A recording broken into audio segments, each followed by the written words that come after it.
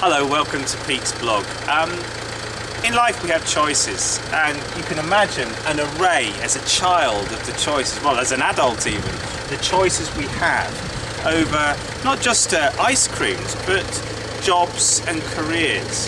What I'd like to focus on is helping you make the right choice for you. Here are five things to think about. Does the role maximise the skills you love using and are really good at? Secondly, does it link to your passions in life? Thirdly, does it give you a sense of purpose?